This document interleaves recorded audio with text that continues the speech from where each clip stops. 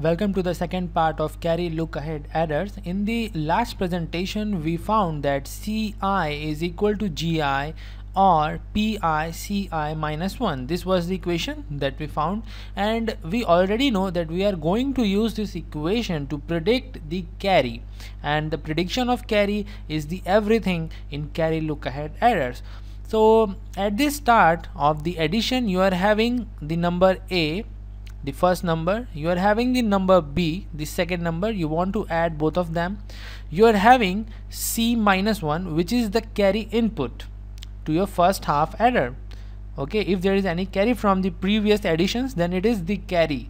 So by using these three informations we are trying to calculate the sum and the carry as soon as possible. So let's use this equation. If i put i equal to 0 in this equation then let's see what we are having. We are having c0 equal to g0 or p0 and c minus 1 okay? Let's say this is our equation 1 now in the next part we will put i equal to 1 in this equation. So we are having c1 equal to g1 or P1 C0 why 0 because i is 1 so 1 minus 1 is 0 let's say this is our equation 2 so what we want? We want all of our carries C0 C1 C2 and C3 should have the carry C minus 1 on its right hand side so that we don't have to wait for any carry to come out. This is something we have already discussed in the first part of the CLA okay? So in our first equation we can see that C0 is having the carry C minus 1 only on the right hand side. But in your second equation we are having C0 which is not C minus 1 so what we will do? We will put the value of C0 which is G0 or P0 C minus 1 here. And uh, try to simplify it.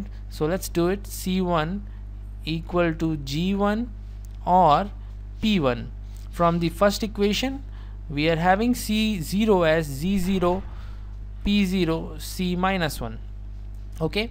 And once you open the bracket you are having G1 P1 G0 or P1 P0 C minus 1 now you can see that the C1 is having only carry C minus 1 on the right hand side. Okay? So we don't have to wait for any carry to be evaluated and we can directly have our C1 because C minus 1 is something we are having at the beginning of our addition so we can directly put C minus 1 here and we are having C1 we don't have to wait for the first adder to evaluate C0 and then the sum CS1 and then carry C1 so this is how the CLA works. And now let's put i equal to 2 in the equation. So C2 and uh, GI is there. So G2 or P2 and at this time we are having C1 so again we have to put this thing because it is equal to C1 instead of this C1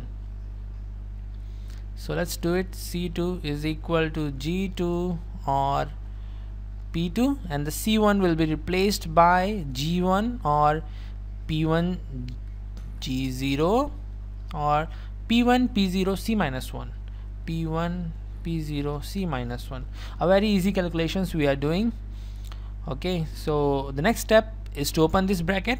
And by doing that we are having G2 or P2 G1 this is G1 P2 P1 G0 let me slide the board.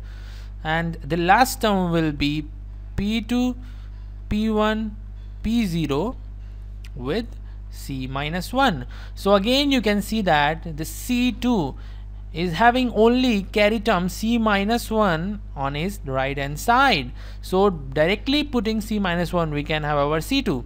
So what we are saving actually we are saving some time and how it is done let me show you this is your C minus 1 directly fed to your first half adder. These are your two numbers A B definitely the first bit of two numbers. And then you are having sum. And after all these things you are having your carry. So if I want carry from this adder I have to wait all the way until this adder has given the value. And then only I am having the carry here from this adder so we have to wait for some time because the gate inside this adder will take time. But by doing this thing by using this equation once I'm having C minus 1 I can directly have C2 at this point because C2 is given by this equation in which we are having C minus 1 and none of the other carries C0 C1 involved. So we are saving time So the last thing is to find out the value of C3 in terms of C minus 1 and I will get C3 when I put I is equal to 3 in our general equation that we evaluated in the last presentation. So C3 is equal to G3 or P3 C2 so let's do it. It is G3 or P3 C2 now we will do the same thing that we are doing from the last three steps which is replacing this C2 by the value in which there is only C minus 1 so let's do it. C3 is equal to G3 or P3 this whole thing will come in the bracket.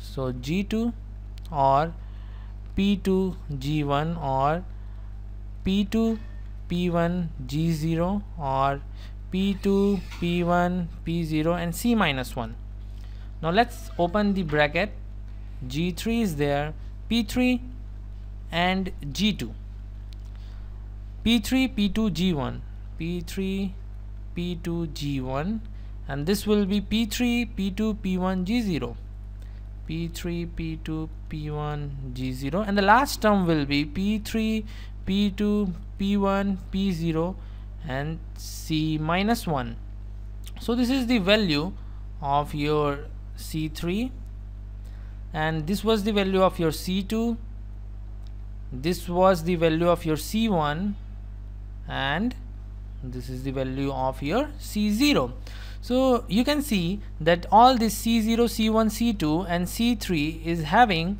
only C minus 1 as the carry term in its right hand side. So it can be evaluated directly. So what we have to do, we have to implement this circuit so that we are having our sum and carry. So let's do it. I have already made the circuit.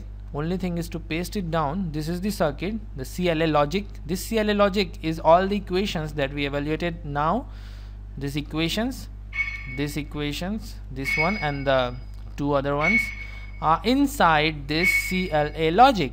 So what you need? You need G3 P3 G2 P2 G1 P1 G0 and P0 now you already know that your G3 is equal to A3 and B3 the generating term that we evaluated in the last presentation. Similarly your p3 is equal to a3 xor b3 okay. And your p2 is a2 xor b2 p1 is a1 xor b1 and p0 is a0 xor b0 fine. Now in this circuit you can see that your sum 3 is what? It is equal to a3 XOR b3 XOR c2 so here we are having c2 this is your c2 this is your c1 this is your c0 and c minus 1 is there. And this one is your c3 so we can have our sum S3 directly because a3 and b3 is already given in the question. A is your a3 a2 a1 a0 and B is your B3 B2 B1 B0 the 4 bit 2 numbers that we want to add. So this information is already we are having. So A3 XOR B3 and C2 we evaluated in terms of C minus 1 and C minus 1 is already available to us. C minus 1 so I can have c2 because in c2 g2 is a2 and b2 that's already available to us. P2 g1 p2 p1 g0 p2 p1 p0 so all this thing is there from the beginning of the problem. So I can have sum 3 directly. Similarly sum 2 sum 1 and sum 0 and c3 is also only dependent upon c minus 1 and also the XOR and AND combination of these bits. So c3 is also directly available to us. So you can see that we don't have to go to that cycle that we did in the full adder we are having our result directly as soon as we are having the problem. Definitely these gates XOR gates and AND gate will take some time. Their delay but definitely this time is much smaller than the time taken by the full adder so you can analyze this circuit, you can make this circuit in your exam and this is all you need to know about the carry look ahead adders. Actually this is the complete information that is required at this stage of time. So this is all in this presentation. In the next presentation we will see another arithmetic circuit.